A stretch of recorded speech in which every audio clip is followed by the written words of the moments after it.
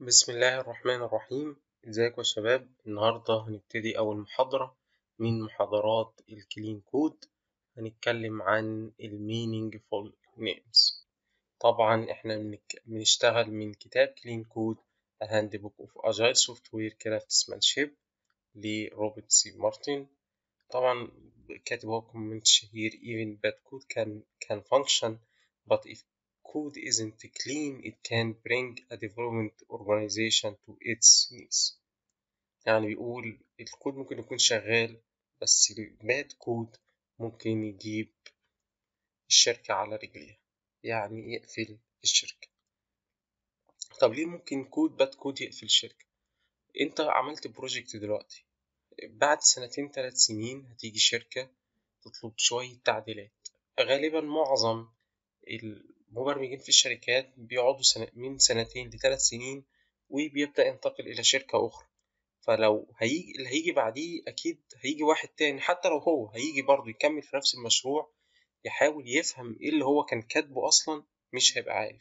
هيجي يحاول يزود في المشروع مش هيبقى قادر يزود function جديدة يعدل function فهيبقى الموضوع بالنسبة له صعب فبالت- فبالتالي هيبقى في تبعات على الشركة في الكلام ده إن هي هتدفع طبعا هتتأخر في تسليم المشروع هيبقى سمعتها وحشة. ففي الآخر مع مرور الوقت ومشروع ورا التاني بنفس المشكلة تبدأ الشركة تتراجع وأرباحها تتراجع وهتخسر وهتقفل في الآخر. برضو مارتن فلور بيقول لنا any fool can write code that a computer can under- understand good programmer write code that human can understand. بيقول لك أنت تكتب كود اللي ال developer هيجي بعد كده يقدر يقراه مش مجرد إن هو just بس بي run وبي satisfy ال compiler وبيشتغل كويس. What clean code طبعا دي بس شور الصورة for fun حاططها. بوب مارتن بيوضح إن ال clean code هو اللي بيجي إن ال good code هو اللي ال review عليه بتبقى كويسة وال bad code بتبقى التعليقات عليه سيئة.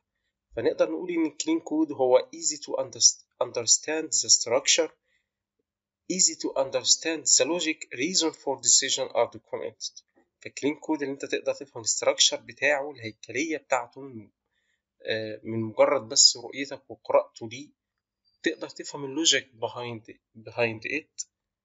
طريقة حله للمشكلة كانت إيه؟ في كتابة ال algorithm. مجرد كتابة هو استخدم algorithm كده وتاخد خطوات كذا مجرد قراءة سريعة في كود آه، برضو من آه، من الحاجات اللي تخليني نقول عندها clean code إن ال decision اللي خدها اللي هو استخدم استخدم مثلا اشمعنى استخدم insertion sort ما استخدمش quick sort اشمعنى ال algorithm ده هو ده اللي استخدمه في ال solution بتاعه لازم يكون documented ال decision اللي خدها عشان يحل ال problem دي لازم تكون documented فاللي يجي وراه بعد كده يبقى فاهم هو هيعمل إيه. فهنقول هو هو ال clean code ال clean code لازم يكون readable maintainable extendable working code أما ال working code هو does what it's supposed to do. بيعمل اللي هو مطلوب منه مطلوب يعمل واحد اتنين تلاتة فيعمل واحد اتنين تلاتة. good code هو combination من ال clean code وال working code طبعا clean code لازم يكون readable and enhanced by other developers. ليه ال readability مهمة جدا جدا جدا؟ زي ما قلنا هتبقى دايما بيحصل اللي change في ال project وال application والكود ده بيحصل باستمرارية مع تطور تطور أنظمة التشغيل المتطلبات زيادة بتطلع نفسه ال user لما بيطلب application ويرجع يطلبه تاني بيطلب تغييرات فيه. مع تطور ال requirement بتاعته مع تطور الشركة مع التفاعل مع ال application في الحياة الحقيقية فبيبدأ يظهر مشاكل و و و فال change في الكود ده دائم باستمرارية فأنت لما تيجي تغير هيطلب منك تغييرات في الكود هيبقى الموضوع صعب لو الكود مش readability صعب في إن أنت حد يقراه ويفهمه عشان يغير فيه. فال process عشان نعمل change لأي كود بن find ال component اللي عاوزين نغيره نشوف ال affected lines ال lines عاوزين اللي فيها مشكلة عاوزين نغيرها ن write الكود الجديد نعمل test فال readability هيوفر في الوقت save your time هي improve ال maintenance هيكون صيانة الكود أسهل increase ال extendability هتقدر لما تحب تضيف function جديدة للكود بتاعك هيبقى الموضوع أسهل. أول نصيحة بيقولها لنا بوب مارتن عشان نكتب clean code اللي إحنا use intention revealing names. بيقول لك استخدم أسامي توضح هي مست... معناها إيه أو مطلوب منها إيه تكشف عن محتواها. يقول لك choosing good names takes time but save more than it take. أي نعم أنت هتفكر عشان هتفكر في وقت كبير عشان تختار اسم معين لل variable بتاعك أو ال function أو ال class بس هيوفر معاك وقت بعد كده The name of variable, function or class should answer all the big question. أي name عشان نقول عليه name كويس الاسم ال variable ده كويس لازم يجاوب على ثلاث أسئلة. What, why it exists, what it does, how it used. هو موجود ليه؟ بيعمل إيه؟ يستخدم إزاي؟ بيقول لك برضه لو ال name require a comment then the name does not reveal its intent. لو ال name ده محتاج تكتب جنبيه comment عشان توضح هو بيعمل إيه أو معناه إيه فده معناه bad name مثال بيديهولنا برضه بيقول لي the problem is is not the simplicity of the code but the implicity of the code. The degree to which the context is not expressed is in the code itself. بيقول لك إن سهولة الكود مش في آه ال problem مش في هل الكود سهل ولا لأ. ولكن هل الكود صريح في توضيح معناه ولا لا؟ مش لازم أقرأ ال context المحتوى بتاع الكود بحيث أفهم معناه بحيث يبقى معنى الكود أو معنى الكود مضمون داخل ال context أنا محتاج أقرأ كود مرة واتنين وأعمل trace على الورق عشان أعرف المعنى المطلوب من الكود ده مطلوب منه إيه. آه فمدينا مثال الكود اللي قدامنا ده. مدينا بيقول لنا عندنا function اسمها get them uh, return list of type array of integer. آه طبعا ال array list دي اسمها list 1 عندي for loop variable اسمه x بي loop iterate على variable اسمه the list آه وعندي condition بيقول لي x of 0 equal equal 4 يا ترى ال magic number 4 ده معناه إيه؟ وبعدين في الآخر برجع بحط الكلام ده كله في list 1 وبرجع list 1 ففي هنا أسئلة بتظهر لي يا ترى get them دي بتعمل إيه؟ اشمعنى برجع ال array of list function the list اللي ب loop عليه ده بيعمل إيه؟ يا ترى ال array x ده x of 0 اشمعنى قلت x of 0 ما قلتش x of 1 اشمعنى؟ معناها إيه؟ ويا ترى 4 ده indicate لإيه؟ و list 1 هستخدمه إزاي؟ انت الكود قدامك اقعد خمس دقايق حاول تفهم الكود ده عاوز إيه. لو الكود ده قدامك كده هل انت فاهم محتاج طلب منك تعدل فيه؟ أول حاجة تقول إيه مش فاهم أصلا ده بيعمل إيه. محتاج حد يشرح لي الكلام ده بيعمل إيه. هل في comment أي حاجة تقول لي؟ فدي بيوضح لك مشكلة التسمية مهمة جدا جدا. طب إزاي هنعدل الكود ده؟ طبعا دي الأربع أسئلة اللي إحنا طرحناها من شوية. فهنا هو كان بيقول لك إن الكود ده كان هو جزء من project كبير ل Minesweeper جيم بيقول لك إن the list الفيرب the list ده هو ال game board اللي هو ال cells دي ال array دي. وكل cell هي عبارة عن array simple array. بيقول لك إن x of 0 أو السبسكريبت 0 هو اللوكيشن أو الستاتيو فاليو بتاعة السيل هي flagged. ف... sorry فهنا four معناه إن ال cell دي flagged. يعني بيقول لك خلي بالك هنا في آه في mine في قنبلة. فتعال نغير الكود هنغير اسم ال function نخليها get flagged cells. هنخلي ان ال the list دي هي أو list 1 هي هنسميها flagged cells. وبدل ما نسميه variable x هنسميه cell وبدل the list هنسميها game board. وبدل ما نقول index 0 أو subscript 0 هنسميها status value. وبدل ما نقول 4 equal equal 4 هنخليها هنسميه constant number constant variable نسميه flagged. وبالتالي لما نيجي نقرأ الكود كده من الأول ونقول get flagged cells كل cell بت loop على ال game board على ال board. ويا ترى ال cell status value ال status بتاعت ال cell دي إيه؟ لو هي هي flagged حطها في ال list اسمها flagged cells return flagged cells فأعتقد الموضوع بقى readable أكتر بقيت أنت فاهم الكود ده مطلوب جزء من إيه جزء من لعبه وأنا عاوز أرجع ال flagged cells بيقول لك إحنا ممكن نحسن الكود أفضل من كده. اللي إحنا آه ن create class اسمه cell ون create جواه function is flagged وأ loop بقى بال cell ا loop بقى بال object اللي اسمه cell على ال game board وانده على ال function اسمها is flagged cell is flagged فاحطه في ال array list اللي اسمه flagged cells و return ال flagged cells بقى more readable أكتر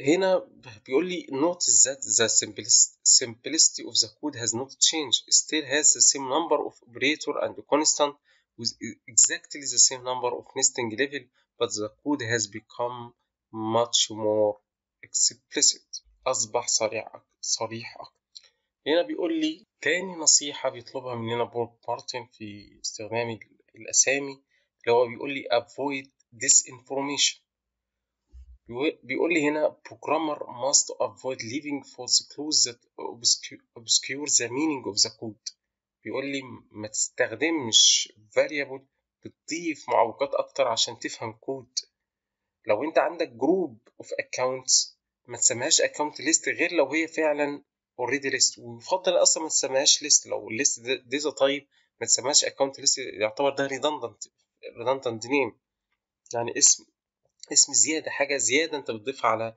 مسمى الكود بيقول لك ممكن يعمل لك مشاكل أكتر في الجزئية دي بالذات اللي هو لو أنت أصلا سميته account list وهو أصلا مش list ممكن يكون string يعني ما تضيفش اسم زيادة لا يعكس حقيقة الاسم. هو account وهو لو list okay ممكن تضيفها. زي ما هنعرف قدام شوية لو أنت حتى ضفت كلمة list لل account وهو حتى list هيعتبر غلط اللي هو يعتبر برضو ده redundant name لكن هنا هو بيتكلم في قصة ال disinformation إن أنت تضيف information غلط. اللي هي هو account ممكن يكون account ده variable ال type بتاعه حاجة تانية ما تسموهوش مثلا account list وهو أصلا مش list فخلي الاسم أي نعم هو ممكن عشان هو group of account ممكن يكون نوعه boolean true أو false ممكن يكون نوعه string ممكن يكون integer value value flag variable مش شرط اللي هو يكون فعلا list فمش معنى هو اسمه accounts فأنت تقول خلاص خليه account list في حالة اللي هو ما كانش list. فبيقول لك just just plain accounts would be better. هنا بيتكلم في قصة disinformation ان أنت ما تضيفش على الاسم حاجة ممكن تتفهم بمعنى تاني. برضه بيقول beware of using names which vary in small ways. اللي هي بتختلف يكون الاختلافات بينها اختلافات بسيطة زي ال two variable دول لما دي تدوس control space في ال editors بتاعك ممكن في الكود وانت نازل تحت ده, ده في فرق اختلاف بس هو حاجات بسيطة بينهم. فتيجي تبدل أو تستخدم variable مكان التاني. آه برضو من المشاكل الكبيرة اللي انت ممكن تستخدم آه مثلا حرف L اللور كيس ال أو الابر كيس أو as a variable names. فانت مثلا في المثال ده يا ترى how a equal ال ولا معناها واحد؟ هل هنا ده 0 equal equal 1 ولا o equal equal ال وطبعا دي هتبقى مشكلة كبيرة. فيقول تجنب مثل استخدام هذه الحروف في تسمية الفاليو تخيل لو أنا جايبها لك في الامتحان جايبها لك بالشكل ده يا ترى أنت هتقول إيه؟ يا ترى هو ترى بيقارن ال ده variable L ولا variable O ولا zero ولا إيه بالظبط؟ فالموضوع هيبقى فعلا صعب. تخيل بقى أنت لو أنت بتيجي تشتغل في كود هيحصل ارتباك كبير. تالت نصيحة بيقول لي use meaningful distinctions. بيقول لك ان ال programmers create problems for themselves when they write code solely to satisfy a compiler or interpreter. بيقول لك انت إحنا ك programmer بنيجي مثلا عشان نستسهل محتاجين variable نقول A واحد A اتنين A تلاتة A أربعة. أي نعم الكود هيشتغل في الآخر بال variables دي. بس يا ترى ال variable دي كانت معناها إيه؟ وإيه الغرض منها؟ تعالوا نشوف مثال هيوضح أحسن. برضو من بيقول لي إن ال series naming A1 A2 N AN هو مش disinformative يعني مش بتقدم information غلط بس non informative مش بت reveal of its intent. فنشوف مثال مثلا أحسن. بيقول لي function دي copy chars بت copy character from من array ل array تاني. يا ترى لو أنا جيت بقى بنده عليها بنده عليها بقى في ال main فيا ترى هبقى عارف أنا بنقل من A واحد ل A اتنين ولا من A واحد ولا من A اتنين ل A واحد. يا ترى مين ال source ومين ال destination فهضطر لو هي بقى افرض بقى ما كانش عندي source code أنا بستخدم APIs يعني أنا بدي APIs دي ل program تاني يستخدمها وما يعرفش ال source code فمحتاج يرجع ليه ال documentation عشان يعرف مين ال source ومين ال destination ف A واحد و A اتنين هو شغال صح. لا فده مش disinformative بس non informative مش عارف مين فيهم ال source ومين ال destination. فكان أسهل حاجة أخ... فالحل اللي هسمي ده source وده destination فبالنسبة لي الموضوع هيكون إيه أسهل. آه دي الجزء اللي أنا اتكلمت عليها من شوية eliminate noise. فاكرين لما اتكلمت عن قصة ال disinformative اللي هو كان عامل account وقلت هو ممكن كان مسميه account list ساعتها كان ممكن account ما تسموش account list غير لو هو list فعلا. هنا بقول لك انت ما تضيفش أصلا كلمة list حتى لو هو list لأن دي تعتبر redundant بتزود في الكود على الفاضي وخلاص. ما أنا عارف هو name string إيه اللي هتفرق عنها لما اسميه name accounts هتفرق إيه عن إنها account list هنا بيقول لي رابع نصيحة use pronounceable names استخدم أسماء يمكن نطقها وفهمها. تعال نشوف المثال ده بيقول لي private date جيني ام جيني أنت مش فا... مش عارف تقولها لأن إحنا مش عارفين أصلا معناها ولا حتى عارفين معناها إيه؟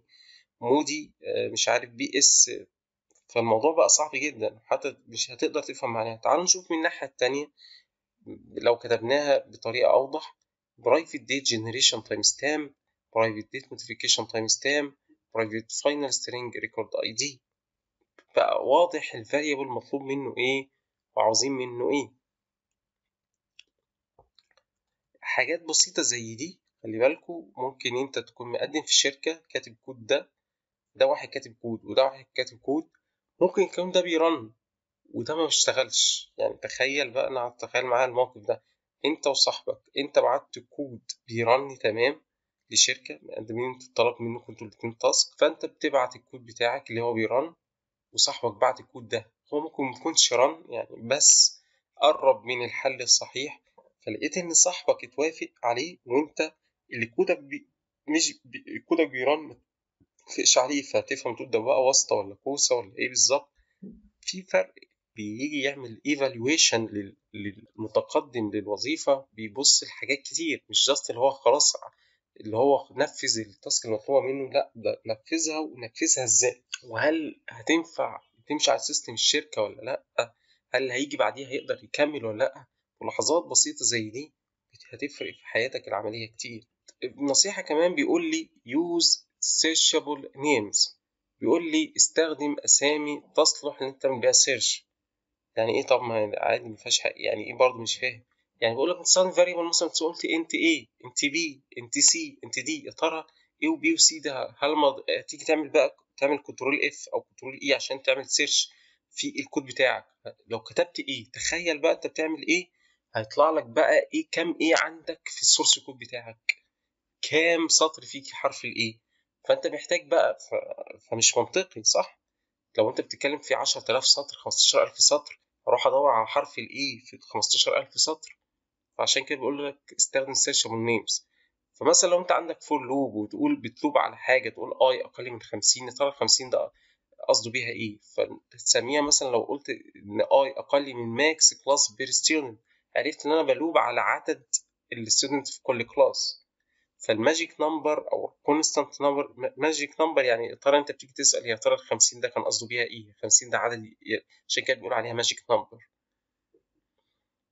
برضو حاجة نصيحة تانية بيقول لك لو أنت بقى خلاص عاوز تستخدم single letter names يمكن استخدمها only لو بتستخدمها في ال short methods يعني inline function هتستخدم ال variable ده بس في سطر أو سطرين زي حرف ال i مثلا إحنا عارفين أول ما تشوف variable i أنت عارف أنت بتستخدمه عشان بتستخدمه جوه ال for loop في الحاجات اللي زي دي ممكن تستخدم short names اللي هي one single letter برضه بيقول لك اللي طب إحنا إمتى تسمي short name وإمتى تسمي long name بيقول لك the length of the name should correspond to the size of its scope. لو هو بيستخدم على نطاق واسع في الكود يعني هتحتاج تكتبه في الكود. فلما تيجي تعمل search هتدور في سطور كتير.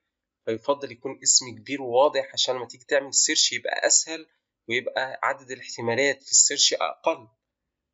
لكن لو هو بيستخدم على نطاق ضيق يعني مش بتستخدمه كتير في الكود يبقى ممكن تستخدمه short name أو single letter variable تعال نشوف مثال مدينا for loop برضو دي بيجمع فيها حاجات كتير. عندك هنا and بيجمع مثلا concept كتير. يا ترى السبعة دي قصده بيها إيه؟ يا ترى ال t دي بيعمل بيها إيه؟ يا ترى ال s ده بيعمل summation لإيه؟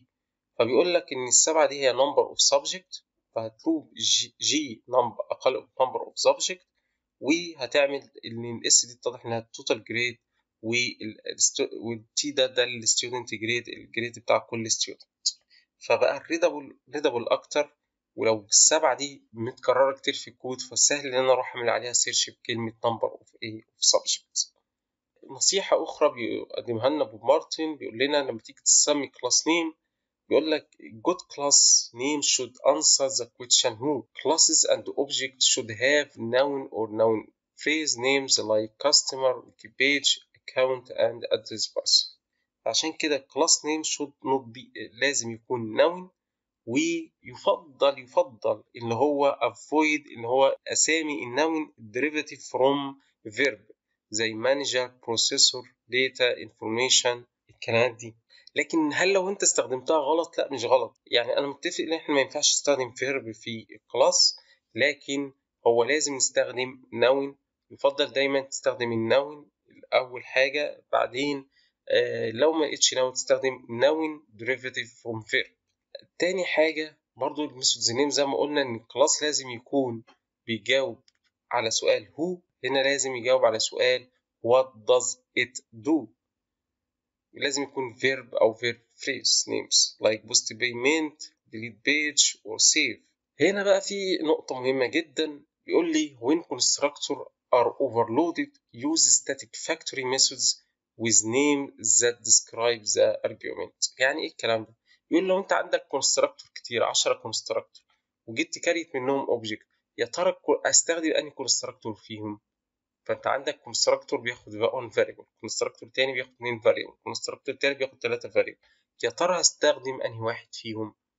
فدي هتبقى مشكلة. كل واحد بيستخدم لإيه ومعناه إيه؟ تعال نشوف مثال أحسن على الكود. مثال زي ده.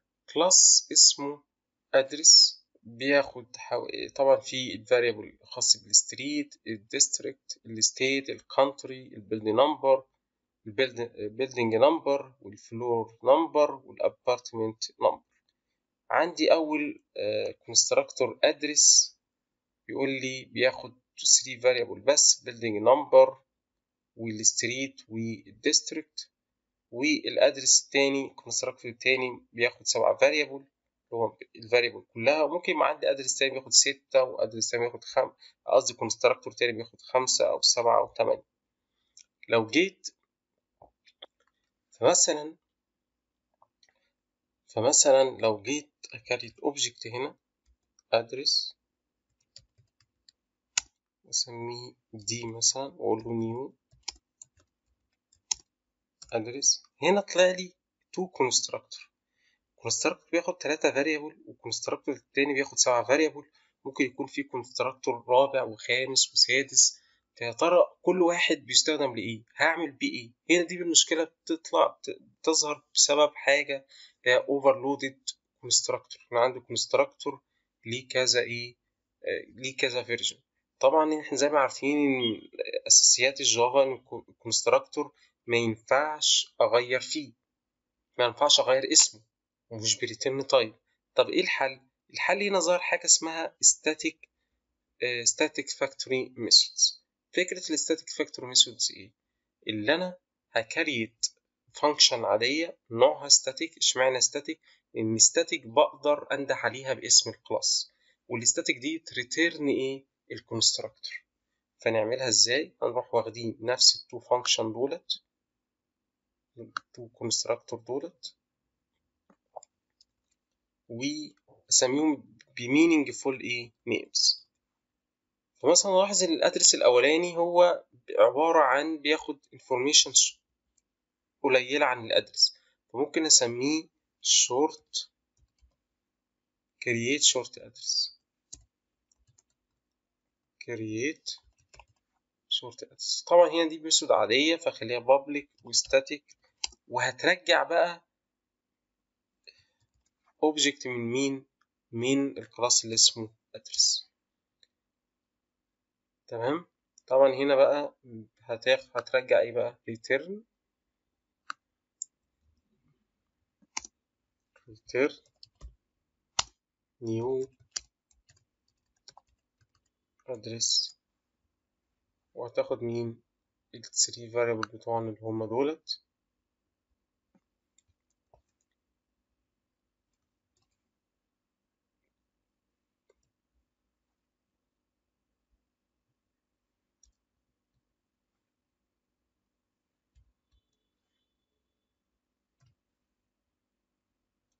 هنعمل نفس القصة هنا يبقى public static address بس المرة دي هنسميه long address. long address وتعمل بقى. هنا بقى نب... طبعا هنا هيرجع إيه هيرجع return new address فنمسح ال variable دي فنقول return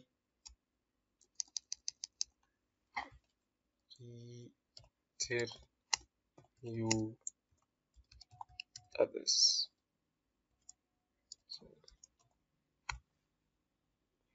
هتاخد نفس ال variable سي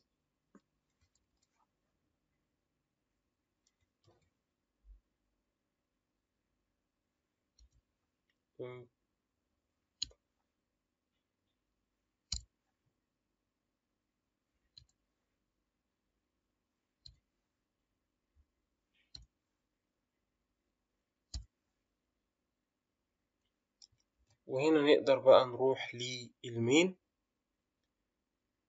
ولو حبينا ننده عليهم هننده عليهم إزاي؟ زي ما أنا كاتب هنا.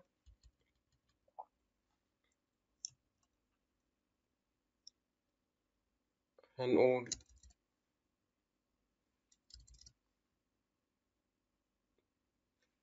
بقى الأولى address create short address وهنا هتبقى address create long address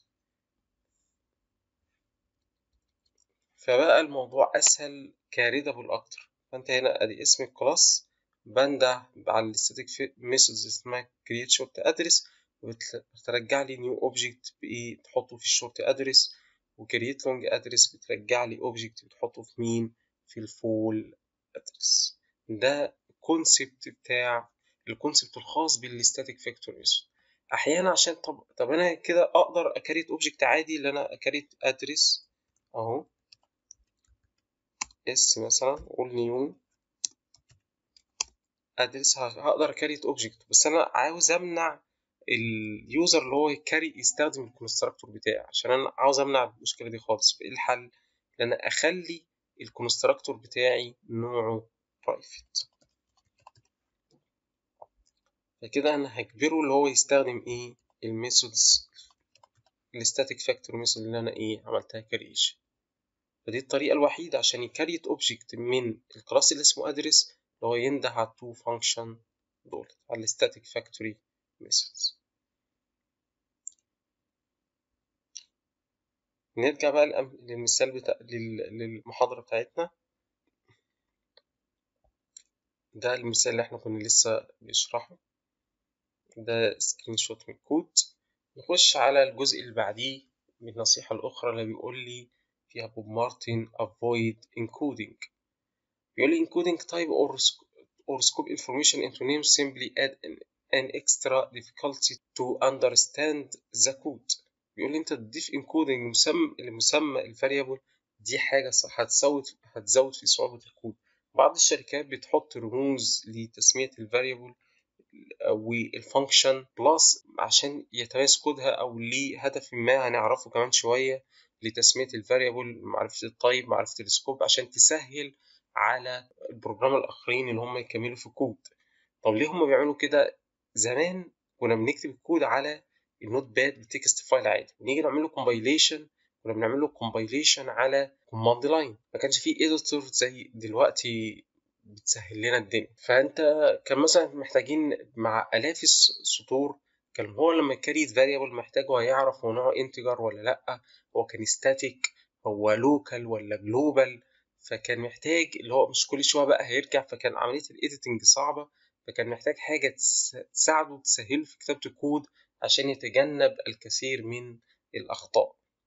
من أشهر ال notation دي حاجة اسمها ال Hungarian notation هي عبارة عن إيه ال Hungarian notation هي الفكرة كلها اللي هي بتعمل prefix يعني بتضيف قبل مسمى ال variable بتضيف مثلا character أو أكتر عشان indicate ال type أو ال scope بتاع ال variable ده إيه For example, the letter I might represent a long integer. Abbreviation string str represent a string.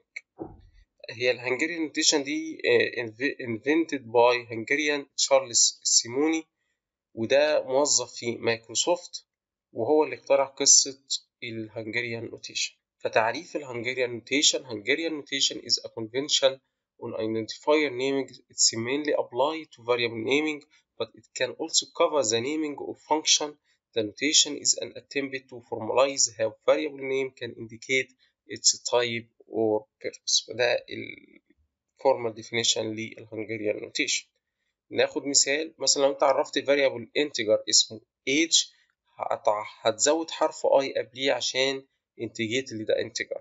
طب هي ال C دي strongly typed language. يعني إيه strongly typed language يعني لازم ال compiler بيعمل type checking على ال variable بتاع على ال variable الخاصة بيه. بس زي ما قلنا إن أنت بتكتب في notepad وصفحة كبيرة فتيجي ساعات أنت مش فاكر محتاج أعرف الايدج دي كان نوعها إيه integer ولا string عشان أتجنب إن أنا أطلع تاني للسطور دي فوق تاني. أنت خلي بالك في السبعينات والثمانينات كان موضوع ال editor ده صعب.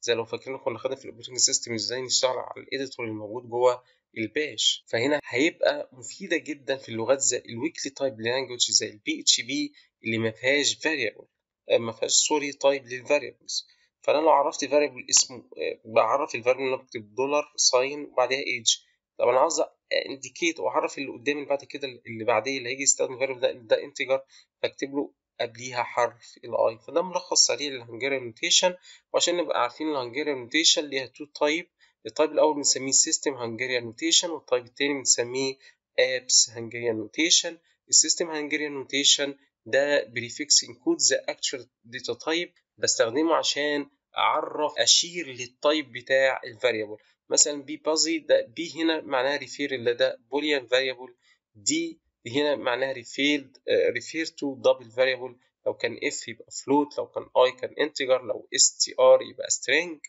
ال apps Hungarian notation مش كود الأك... مش بتاع... مش بستخدمها عشان encode ال actual data type بيقول لي إن هنا دي بت... بتوضح ال variable بستخدمه ليه؟ وبيستخدم إزاي وال scope بتاعه إيه. n size دي indicate إن ده variable بي count حاجة.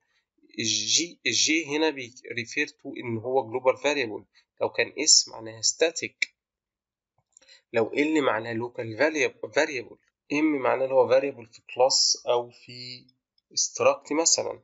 طب إيه المميز في ال Hungarian notation زي ما قلنا هو هيبقى مفيدة جدا في ال weakly typed language زي ال PHP وال Python ال Hungarian notation also help to enforce consistent variable naming بتخلي الأسماء كلها ذات سياق واحد بتجبر ال programmer اللي هو طبعا هيستخدم i فهيضطر يسمي اي فعشان يعرف يفرق بين variable واحد و variable اتنين لأن كلهم هيبتدوا ب i مثلا لو عندي كذا integer فهيحتاج يسمي ال variable بمسمى أوضح وأكتر فهتجبر ال programmer إن هو يوضح اسم ال variable بتاعه عشان هو هو نفسه هيحتاج يفرق بين i الأولى وال i الثانية ال apps notation might help programmers spot important errors that the language wouldn't otherwise alert them to. هنا بقى ال apps ال apps Hungarian notation ممكن بقى توضح لي ال program وهو شغال بقى مش مشكلة في الكود نفسه في ال syntax لا مشكلة في ال logic. أما بخصوص مساوئ ال Hungarian notation هي has fallen out of fashion خلاص بقت موضة قديمة. يعني كانت تعتبر زمان من clean code دلوقتي لا تعتبر من ال bad code. يعني بتضيف redundant character و names لل codes بتاعنا وبيخليها بيخلي الكود أصعب في القراية مش أسهل. وبتخلي ال programmer يتعلم encoding plus اللي هو يتعلم أصلا ال programming ممكن برضو ال problem هي بتحاول تحلها تخليها تسبب في ظهور مشاكل تانية زي over reliance on global variable. فكرة إن أنت هت فكرة إن هو بقى عشان يريح دماغه في التسمية يزود فكرة ويستخدم global variables كتير. فكرة ال global variables الكتير اللي هي هتظهر لي فكرة ال dependency إن هيبقى عندي function كتير استخدم global variable أو depend on global variable. لو أنا غيرت ال type of global variable هضطر أغير ال name بتاع ال global variable انزل اغيره في كل ال function اللي بتعتمد على ال global اغير ال type بتاعها واغير المسمى بتاعها طيب هنستخدمها ولا لأ؟ اللي اخترعها مايكروسوفت اللي هي أصلا تم اختراع فيها ال Hungarian notation في سنة 2008 قالت نصيحة don't use Hungarian notation من أنواع ال Hungarian notation طب حد يقول لي ال member prefixes اللي هنكتبها هنا يعتبر system ولا app فكروا كده system ولا app مظبوط. app لأن app Hungarian notation ال system قلنا بيوضح لي ال data type لكن ال apps Hungarian notation بيوضح لي ال role أو ال scope بتاع ال variable إيه فهنا بيقول لي ما تستخدمش no member prefixes انك تكتب m قبل ان تقول ده member من ال class أو member من ال struct عرفه بدل ما تسميه برضو مختصر كده خليه خليه description فالموضوع هيبقى أسهل. فهنا بعد فهنا تعالوا نشوف المثال ده. هنا عندي variable اسمه m underscore dsc هو المفروض يكون هنسميه string description. بدل ما نسميها set name طب ما نسميها set description. بدل ما أقول string name هسميها string description. لما أجي أعمل initialization بص الصورة أقول this description هو الخاص بال class يساوي description ال user بتاعته. بقى ال readability أعلى وأسهل. برضه من أنواع ال encoding لو أنت عندك زي ما هناخد قدام بقى هنيجي نعمل factory class هتيجي تعمل interface بيقول لك هو مش صح اللي أنت تعرف ال user بتاعك اللي أنت بتستخدم interface فلو أنت عندك interface مش factory ليه تكتب قبليها I هو just سيبه shape factory وبيقول لك لو أنت خلاص مجبر اللي أنت عاوز تعمل encoding ليه عندك طبعا أنت عندك ال interface class وهتيجي تعمل implementation فلو انت فما ينفعش لا تعمل encoding لل interface ولا تعمل encoding لل implementation بس لو انت مضطر اعمل encoding لل implementation فحتى بيقول إيه؟ لو انت هتعمل خلاص فانت سمي ال shape factory shape factory implementation or even the hideous C shape factory is preferable to encoding the interface.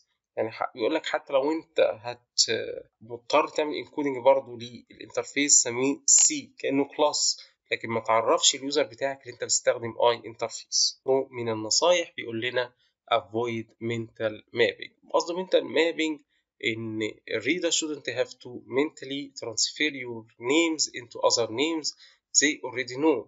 يعني بيقول لك آه بيقول لك لو انت بتكتب كود ما تكتبش variable انت عشان انت عارف ال teamwork اللي معاك عارفين معاني ال variable دي اختصارها إيه معناها إيه زي r t p فبيقول لك انت شغال في project مثلا developer آه بيقول لك مثلا إن ال r معناه URL وال t معناه URL without protocol information.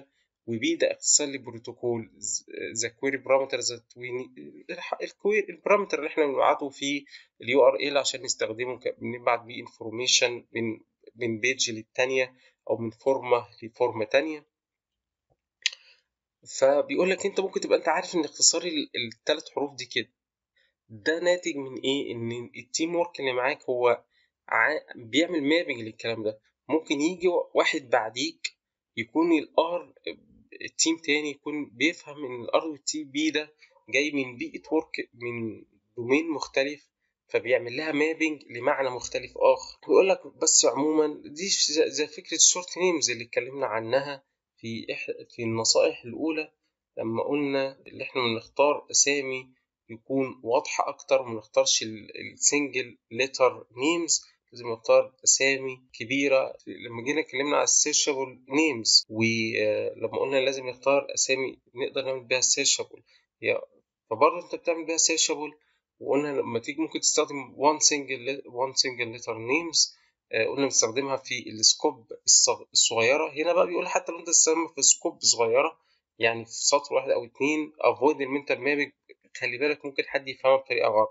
لكن بيقول لك ممكن بقى في variables زي ال i j إحنا كلنا عارفين لو أنت أول ما تشوف i أنت معناه إن أنت بتتعامل مع iteration في loop بس عموما avoid single letter mapping تاني نصيحة, أخرى نصيحة أخرى بيقدمها لنا بوب مارتن بيقول don't be cute بيقول ليه ما تحاول تستخدم حس الفكاهة أو الدعابة عشان يبقى الاسم بتاعك الناس تتذكره وتعرفه فتستخدم حاجة زي فانكشن اسمها walk to mean kill.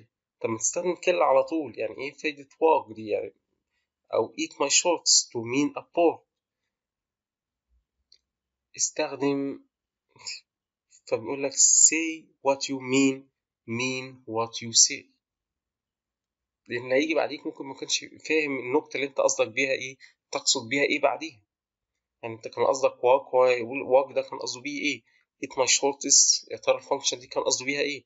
لكن لما يقرأ معناها kill أو kill process abort ال process فساعتها هيفهم دي function بتعمل abort أو بتعمل kill. لكن eat my shorts. ممكن أنت أنت في ال domain بتاعك يبقى فاهم معناها لكن اللي هيجي بعديك مش فاهم معناها. بيقول لك بين one pick one word per concept. اختار كلمة عشان تعبر عن معنى واحد. فمثلا في المثال اللي عندي ده get articles fetch user retrieve page. طب ما أنا إما أستخدم get إما أستخدم fetch إما أستخدم retrieve. Get articles get users get page. خلي بالكم الجزء ده مهم جدا جدا جدا لأن حتى أنت لما تيجي تكتب research paper وتيجي تكتب paper ورقة بحثية وتقدمها دايما ممكن أسباب الرفض يقول لك أنت بت... عندك مثلا techniques وعندك methods فيا ترى أنت بتستخدم methods ولا methodology ولا techniques ولا algorithm دايما استخدم concept واحد طول ال paper فتلاقي ال paper انت كويسة جدا وتلاقيه ال journal ال reviewer بيرفضها في ال journal يقول لك انت لازم انت شوية تستخدم كلمة techniques شوية تستخدم كلمة methods لا استخدم إما methods إما techniques ده الموضوع ده مهم جدا بالذات لو انت بتيجي تقدم مثلا proposal عشان عاوز تسافر بره عاوز تقدم ل project تاخد fund ل project. فالحاجات دي دايما الحاجات البسيطة دي بتفرق معاك. أنت ال proposal البحث اللي أو دراسة الجدوى بتقدمها للشركة ما عشان تاخد fund أو تقدم حتى ال CV بتاعك. يقولك شوية أنت بتستخدم techniques استخدمت methods أو تيجي تكتب تقدم بحث research بحث عشان تنشره. فالحاجات دي بتفرق كتير كتير كتير جدا. حاجات بسيطة بس هتأثر في مستقبلك. إحنا خلي بالكم إحنا مش بندرس بقى إزاي إحنا خلاص خدنا في software 1 وخدنا في PL 1 و PL 2 إزاي نكتب كود إزاي نعمل system design لل project بتاعنا. دلوقتي إحنا بنحاول نخلي ال quality بتاعت الكود بتاعتنا أعلى. فما تزهقش تقول لي الحاجات دي بسيطة لا الحاجات دي هتقع فيها بتقع فيها وكلنا بنقع فيها. don't pun don't pun يعني بيقول لك ما, ما تحاولش تستخدم كلمات ليها نفس المعنى لأغراض مختلفة. يعني مثلا انت عملت function اسمها add عشان تعمل addition محتاج دلوقتي عاوز تعمل تعمل تحط data في ال في ال list بتاعك تعمل add ل item في ال list. ف add item هنا مش معناها بقى مش add معناها addition فما تروحش تسمي ال function اللي هتعمل بيها add لل item في ال list اسمها add لا سميها insert اي مسمى لكن add معناها هنا بعمل بيها addition مثلا أو concatenation يعني استخدم مش معنى اللي هو بيقول لك ده عكس عكس ال slides اللي قبليها. هناك بيقول لك استخدم word per concept أو word per concept يعني الكلمة بتعبر عن معنى واحد ل function معينة أو ل scope معين من ال behavior اللي بتنفذه. مش معنى اللي هو في behavior متشابه في المعنى التعبيري اللفظي أنا أروح مستخدمها. هنا add معناها بجمع وهنا اد معناها باد ايتم للليست لا هنا add addition يبقى استخدم كل ال concept فيها addition استخدم فيها أو سميشن استخدم add وكل ال concept الخاص بعملية ال insert ما استخدمش كلمة add لا استخدم كلمة insert أو append عندي برضو concept جديد حاجة اسمها use solution domains يعني إيه solution domains قبل solution domain عندي حاجة اسمها problem domain و solution domain ال problem domain بي define the environment where the solution will come to work. لكن solution domain defines the abstract environment where the solution is developed. يعني أو بمعنى آخر إن ال problem problem domain represent ال requirement بتاع ال project بتاعك لكن ال solution domain contain ال solution أو ال algorithm اللي أنت استخدمته عشان تعمل تحقق ال requirement دي. فلما بيجي يقول لك دايما تفضل تستخدم ال solution domain في تسميه الفاريبل الميثودز الدوكيومنتد حتى الدوكيومنتيشن لأن اللي هيجي بعديك هو programmer مش واحد شغال في ال problem اللي أنت بتحل يعني قصدي مش يعني مثلا أنت بتعمل system لشركة صيدلة مثلا أو لطبيب فاللي هيجي يشتغل في الكود بعديك هو مش دكتور هو هي راجل programmer زيك محتاج يبقى يستخدم concept أنت بتستخدمها ال algorithm ال techniques اللي أنت استخدمتها. فما تسميش ما تحاولش دايما تكتر في أسماء الت... ال problem domain لا حاول تكتر أكتر في ال technical domain أو ال solution domain فعشان كده choosing technical names for these things is, usually is usually the most appropriate course. هنا بيقول لك بقى في ال problem domain بيقول لك برضو أنت مش معنى إن أنت هتستخدم ال solution domain آه بس برضو استخدم ال problem domain في الأجزاء الخاصة بالكود خصوصا الجزء اللي هو خاص ب ال UI user interface استخدم الحاجات اللي خاصة ب ال problem domain الأجزاء اللي في الكود محتاجة أكتر توضح فيها هتلاقيها related أكتر ب ال problem domain يعني خصوصا ال user interface دايما هتستخدم concept واسامي ال function منها طالعه أكتر من ال problem domain تمام؟ في النهاية طب استخدم problem domain ولا ال solution domain لا بيقول لك دايما يفضل بداية أنك تستخدم أسامي variable أسامي function منبثقة من ال solution domain ك first choice أما ال second choice إن تستخدم أسامي منبثقة من ال problem domain نخش على النصيحة اللي بعديها بيقول لي add meaningful context بيقول لي لازم ال variable اللي أنت بتستخدمها جوه ال function بتاعتك لازم تكون ليها بتوضح السياق المستخدمه فيها. فأنت لو عندك function مثلا فيها variable واحد state يا ترى ال function ال state ده بستخدمه عشان إيه؟ ال indicate بتاعه؟ لكن لو جوه ال function بقى في سبعة variable طبعا السبعة variable دول اللي جوه ال function دول إيه سياقهم واستخدامهم خلال ال function دي؟ هعمل بيهم إيه؟ إيه لازمتهم؟ هل هيكونوا part من إيه؟ هل هم variable عاديين؟ هل هستخدمهم جوه loop هل إيه إيه ال context إيه علاقتهم ب ال function دي ب ال context ده؟ فلما تلاقي بقى السبعة variable دولت قبليهم مثلا كلمة address prefix address قبل ال first name address last name هعرف إن أسامي ال variable دولت اللي أنا بستخدمهم جوه ال function دولت علاقتهم ب ال function دي اللي هي بت create ال address اللي هي هترجع لي هستخدمه عشان أ build أرجع string مثلا في concatenation من منهم عشان أبني بيها ال address. برضو طب إيه الأفضل من ده كله؟ إن أنا create class اسمه address وأستخدم ال variable دول. جوه ال class اسمه address بحيث لما أجي انده استخدمه أقول address dot كذا. فأبقى عارف إن ده إن ال ال إن ال variable ده ضمن structure أو context أكبر اسمه address don't add gratuitous context. مش معنى بقى إن أنت خلاص لازم توضح كل variable توضح ال context بتاعه إن مع كل بقى variable خلاص لازم اضيف prefix عشان أوضح هو مطلوب منه إيه. هو بيقول لك كده هتبقى حاجة redundant برضه. مش يعني لا تفتح تعمل لا تضيف لكل variable ال context بتاعه ولا تمنع. لازم يكون الموضوع فيه توازن. تشوف انت هتحتاجه إمتى. المن... ال... الأجزاء اللي فعلا محتاجة توضح ال context بتاعها. في حاجات ممكن تبقى redundant ما تستخدمهاش. عشان كده بيقول لك no more context to, to name than is necessary. لا تضيف context إلى ال name زيادة عن الضروري إلا في الضرورة. فأنت لو عندك class اسمه address و create منه object اسمه account address customer address okay تمام. لكن مش لازم تعمل account address و customer address مش شرط. إمتى ممكن تفرق بقى في اسامي ال address لو في فعلا فروقات واضحة بينهم زي مثلا postal address MAC address UR URL address ساعتها أنا فعلا محتاج اعمل لكل واحد منهم class بمسمى its its content أو its purpose. الهدف اللي هو محتاجين نستخدمه فيه. وبكده تنتهي المحاضرة الأولى ونلقاكم على خير. في المحاضرة القادمة إن شاء الله. وبالتوفيق.